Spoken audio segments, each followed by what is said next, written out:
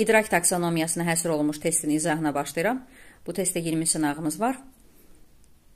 Birinci sual. Basadın Təpəgözü öldürdüyü boyda obrazların xüsusiyyəti ilə bağlı əsaslandırılmış mühakimə yürüd.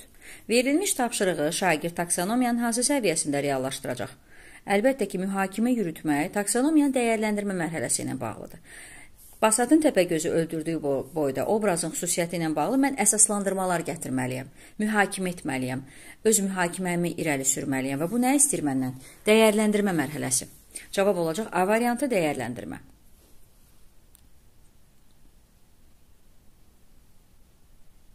İkinci sual. Çılpaq Toxumlar şöbəsinin nümayəndəsi olan Eldar Şamının digər şam ağaclarından fərqləndirən vacib elementlərini qeyd edin. Verilmiş tapşırıq Şagird e, verilmiş tapşırığı şagird taksonomiyanın hansı səviyyəsində reallaşdıracaq?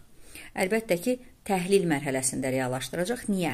Baxın, təhlil mərhələsinin tərifində deyilir ki, uyğun olan olmayan, vacib olan olmayan nələrinsə fərqləndirilməsi. İndi mən burada nə edirəm?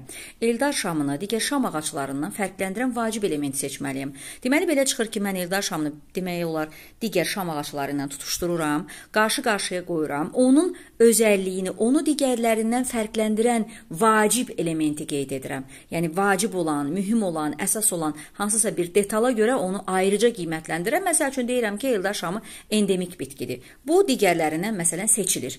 Bir xüsusiyyətinə görə digərlərindən fərqləndirdim, amma necə fərqləndirdim? Bu sadə müqayisə deyil. Bu e, yəni mürəkkəb müqayisədir. Qarşılaşdırdım.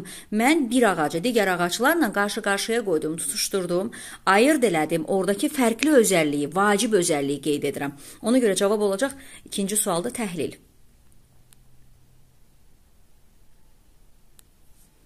Üçüncü sual.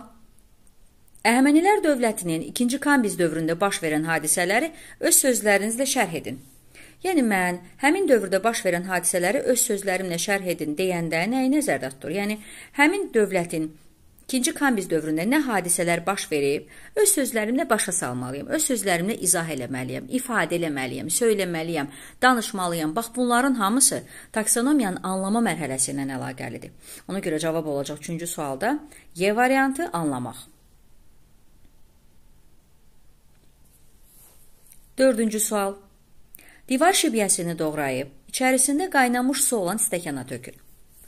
Sonra stəkanın ağzını şüşə ilə örtün və bir neçə gün işıqlı yerdə saxlayın. Həmin stəkanda olan şibyənin göbələk hissəsi çürüdükdən sonra stəkanda göbələk liflərindən azad olunmuş yosun hüceyrələrini müşahidə edin.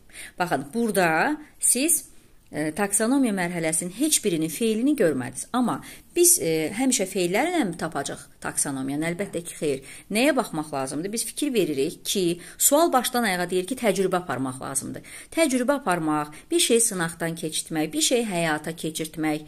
Bu nədir? Bu olur taksonomiyanın tətbiq mərhələsi. Biz burada nə etdik? Təcrübə apardıq. Biz bu sualda təcrübə apardıq. Divar şibəsini doğradıq, stəkanın içinə tökdük, üzərinə qaynar su tökdük, sonra neynədik, ağzını bağladıq, bir neçə gün işıqlı yerdə saxladıq, şibyənin göbələk hissəsi çürüyəndən sonra ə, göbələk lifindən azad olmuş yosun hüceyrəsi müşahidə ilə təcrübə aparırıq. Bu nə istəyir bizdən? Təcrübə. Təcrübədirsə sınaqdan keçirtmək, nə isə həyata keçirtməkdir. Ona görə cavab olacaq A variantı tətbiq. 5-ci sual, 5-ci sual təsvirlər olsun ki, digər vərəqə keçib, eyb yox olsun. Məhsuldar buğda sortlarını sadalayın. Bu kitabda yazılan bir şeydir. Taxıllar fəsiləsini şagirdlərə keçəndə orada yazılıb. Nə bilim, payızlıq e, filan sort və yaxud da ki, yazlıq filan sort. Bu sortların adları əzbərdir. Oxuyub yadında qalıb, indi də onları sadalayın.